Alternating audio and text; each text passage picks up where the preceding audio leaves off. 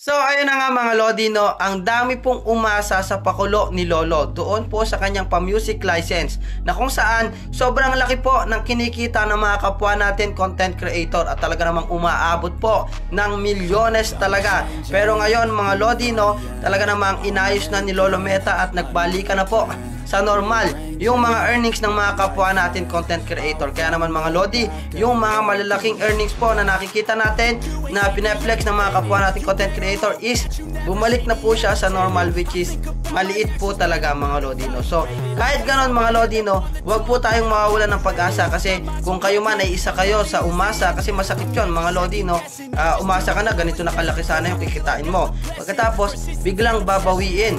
Tapos, ayun nga mga Lodino, hindi nga kasi normal yung ganong kalaking earnings sa konting views na nagja-generate po ng ating mga Reels video. Kaya naman mga Lodi, uh, it is a possible glitch lamang po talaga dito sa system ni Facebook kung bakit po nakaka-generate ng malalaking earnings yung mga gumagamit ni ng uh, music, license music dito kay Facebook. Pero kahit kanon mga Lodi, no, kung kayo man is uh, naka-experience nito, alam ko, alam ko masakit to dun sa mga uh, naka-experience ng nakakita na ng malaking earnings doon sa kanilang uh, reels. Dahil nga po mga lodi da, uh, na, lalo silang na-inspire doon sa malaking earnings nila. Kaya lalo silang nagsipag na nagsipag mag-upload na mag-upload ng kanilang mga reels video.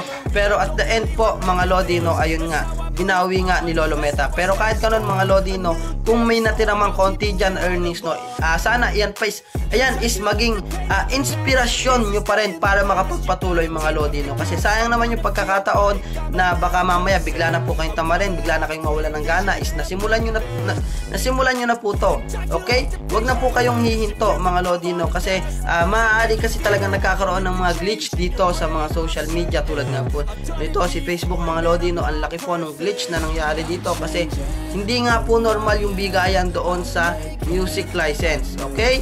So, which is, uh, kung uh, tutusin, kung maisipin natin mga Lodino, saan kukuha din ang pambayad doon? Sa atin. Wala, wala din, di ba? Kasi medyo malaki talaga. No, hindi talaga normal. Kaya naman mga Lodi, uh, ayan, ngayon nasa normal na ulit yung earnings natin mga Lodi, no? Kaya naman, kung ikaw is uh, isa ka dyan sa naka-experience niyan mga Lodi, no? Maswerte no yung umaasa pa lang na sana magka ano, sana magkaroon sila ng license music tulad ko mga Lodi, no? Ako hindi pa ako masyadong nasaktan mga Lodi kasi uh, ako umaasa pa lang na magkaroon ako ng license music. Pero iba yung pakiramdam nung uh, na kumikita na dyan sa license music at todo gawa sila ng content no mga Lodi na dahil umasa na talaga sila dyan.